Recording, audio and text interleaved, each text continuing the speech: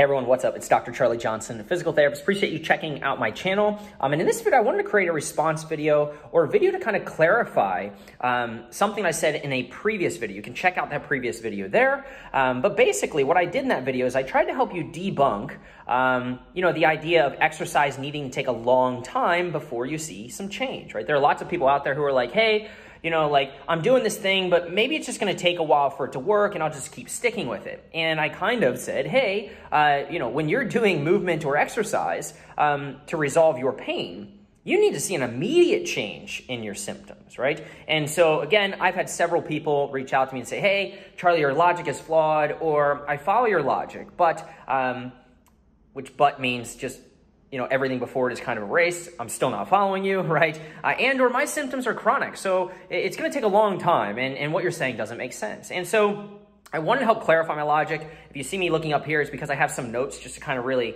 I wanted to flush through this uh, idea to help you best understand what I mean, because I think it's really powerful. And so stick around if you're somebody who's been doing something and it hasn't been working, uh, and you're looking for a different way of kind of approaching it or thinking about it, because I'm going to drop like a major nugget here uh, shortly, okay? So that being said, I wanted to clarify my logic, which is that treatment or movement, right, or something you're doing to resolve your pain should result in an immediate improvement in your symptoms.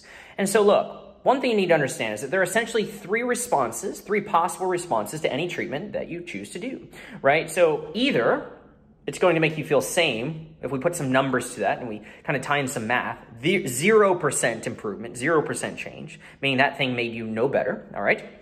Um, you know, it could make you better or it could make you worse, right? And so to be clear, what I'm saying is that if you are no better after a specific treatment, 0% change, then 0% change multiplied times however long you want to stick with a specific treatment.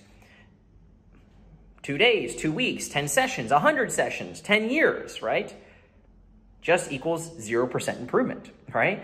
So if there's no change in the moment, then you have no evidence to believe that multiplying that treatment over time, however long you want to stick with it, will work. Right? And if worse, immediately after, and this would be the logic of like, well, it's got to get worse before it gets better, or no pain, no gain. Then look, multiplying an immediate worse response over time probably just gets you worse, right? And if better immediately, even if just 10%. So what I'm saying is that you know, you don't need to see, you need to see an immediate better response in treatment. Something needs to make you better immediately in the moment, but it doesn't have to be 100% better. It could just be a base hit. It could be 10% better. Then at the very minimum, this gives you credible proof or evidence that the treatment you just performed in the moment not only worked, but that with continued repetition could amplify the results via the compound effect of time in the better direction. Okay?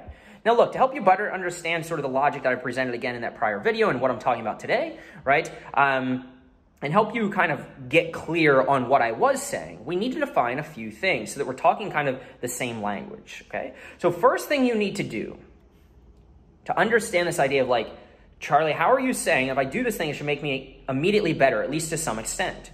Well, the first thing you need to do is you need to objectify your pain experience.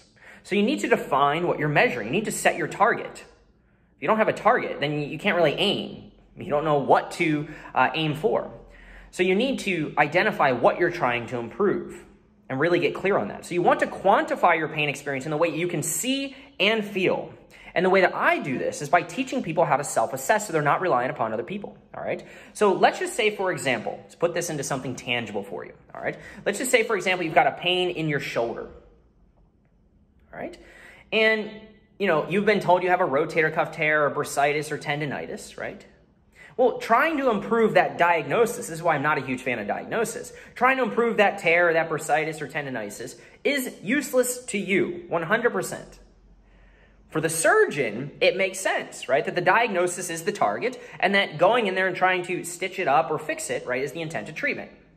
But you're not a surgeon, right? For you, it's nebulous because you have no way of measuring the direct improvement of, right, and or targeting that diagnosis specific, specifically, right? You, you don't have an MRI machine where you can do something and the next day see if, you know, things got retethered or not, or if the bursitis went down or up, right? And again, motion is non-specific. So you can't just move your shoulder and only move the rotator cuff. You're moving many things, the skin, the nerves, the neck, everything, right? So instead, right? The first thing you need to do in order to objectify your pain experience is translate what you've been told is wrong with you, your diagnosis, or the reason for why you hurt, into something that is of common language, that is native to you, something you can understand. Because otherwise, it's just too theoretical, right? You can't understand or grab onto it.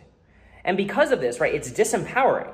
So it's like, hey, what power do you have to improve your leg length discrepancy or your rotator cuff tear? Or, as somebody who helps people with unresolved back, butt, and sciatic problems all over the world, what power do you have to improve your disc extrusion right now? None right? So some of this stuff that you're told is wrong with you, you can't even pronounce. A spondylolisthesis. What the heck is that? You can't even pronounce it, let alone try to improve it, right? It's too foreign to you. It's speaking a different language. So you've got to translate things that you're told are wrong with you into something you can understand, something you can see and feel. Your native language, if you will. And what do I mean by this? How you're moving, right? So what can you do better than anyone else? Move your own body and understand what you, what you feel, and you can see it. All right. So, for example, let's just say you're told you have, again, um, maybe some type of bursitis or rotator cuff problem or some diagnosis. I'm using the shoulder, it could be anything down below. It's just easy for video sake. All right. So, it's like, okay, great. So, I have a rotator cuff tear. Uh, what do you do about it?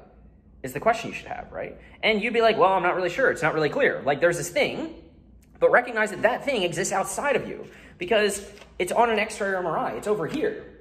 So it's very intangible. You can't really connect with it. You hear what they're saying, but it's hard to objectify. Doesn't really make sense.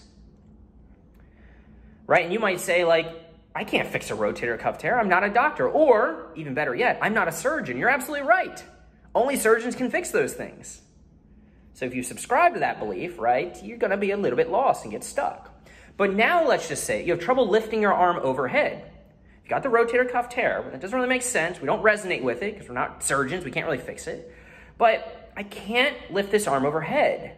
And when I get to about here, it's like a 5 out of 10 pain. Hmm, now that's something you can see about here and feel, objectify. You can understand and sort of quantify it for yourself. You don't need somebody else to do that. Now you're in power, all right? So you can use a simple movement exam. This is why I love using motion as part of the rehab solution, if you will, movement as medicine. You can use a simple movement exam to identify what movements or things you're having trouble doing, and then you can objectify what you feel and how well you can do those things. So in the shoulder example, trouble raising arm overhead. Ouch, 5 out of 10, right around this area. Great. Now, after you've objectified your pain experience, into a language you can understand, how your body's moving, something you can see and feel, right? Now you know what you need to improve. And this shifts your focus from trying to fix your rotator cuff tear or your, you know, whatever your disc problem or SI joint problem into something more tangible. Now I remove that diagnostic kind of barrier, that which I don't understand, and now I'm like, oh, okay, regardless of what it is, I have to fix my arm raise overhead. That's it, all right?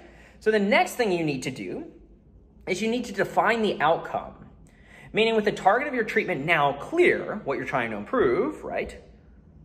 The goal of treatment becomes clear.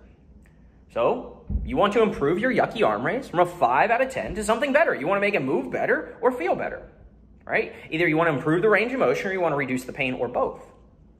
So now the experiment is set and we can kind of have a, you know, a logical conversation around the decision-making framework and logic that I talked about in the prior video about how when you do something, you should see an immediate change, right? So when using exercise for pain relief, again, I'm going to state it again, you should see immediate improvement. Immediate improvement in what? Your yucky arm raise or something you can quantify there. So let's make this super clear, all right? Let's tie in the three possible treatment responses, all right? So let's just say A, B, or C sort of situations could come from any possible treatment. So situation A, if it hurts to raise your arm overhead, 5 out of 10, ugh, you get treatment, whatever that is, right? And then you raise your arm overhead and it's ugh, 5 out of 10. No change, 0% better. Scenario number B, or scenario B, not number B, right? If it hurts to raise your arm overhead, 5 out of 10, ugh, you get treatment. Now you raise your arm overhead and you go, oh, 7 out of 10. Yucky. It's 20% change in the wrong direction. Scenario C. If it hurts to raise your arm overhead, 5 out of 10 pain, ugh, you get treatment, and now you raise your arm overhead and you're like, oh, 3 out of 10. 20% change in the better direction. Now, let me ask you this which treatment worked? Scenario A, where you had 0% change, scenario B, where it was 20% worse, 7 out of 10 pain, or scenario C, where it went from 5 out of 10 to 3 out of 10, and maybe the motion improved. Which treatment worked? And if you were just like not trying to think about it too much, you'd be like, well, of course, treatment C, great. All right. So treatment C made you feel made you feel better. Now, it didn't make you all better. So notice I didn't say it went from a five out of ten and, and it went to a, a zero out of a ten out of ten, right? That's where the element of time comes in, the compound effect. So here's the nugget, all right? You can listen to this over and over again until it sets in. Time multiplies everything good and bad. But you only want to use time to multiply things that make you better in the moment, not things that result in no change or make you worse. Time multiplies everything good and bad, but you only want to use time to multiply things that make you better in the moment, not things that result in no change or make you worse. So, look, I am not saying that it's not possible that something that makes no change now could not somehow make a difference in the future for you. Or that something that makes you worse now will not somehow magically improve your condition in the future. What I am saying is that if you do not subscribe to this logic or some logic very similar, which is, by the way, the scientific method of seeing an immediate objective change in the moment, then what evidence do you have to believe that that treatment will eventually work with time? You have none. It didn't help now. You have no evidence to believe it will help in the future. And if you have none, then why continue? So any belief that a treatment which makes no change now will make you better in the future is fabricated. It's based off assumption and it does not exist in reality. It's a theory. You're guessing. It's trial and error. So don't guess, test. You've got past, present, and future. So to end it, I want to say this. What has happened in the past has happened in the past. What will happen in the future is unknown. You don't know it, I don't know it. Therefore, the only way forward, and the only thing that makes logical sense, is to observe what you can in the present. And therefore, the only way to have credible evidence to believe that a treatment will help you is to see a change in the present, in the moment. All right, so hopefully this is useful. Take the nuggets and apply them. Be scientific. Test, don't guess. And again, hopefully this helps you understand the framework through which this approach makes sense and works. We're talking about exercise or movement, using movement as medicine we want to see an immediate change. And if you don't see an immediate change in the mo moment, then it's just speculation that it'll work in the future.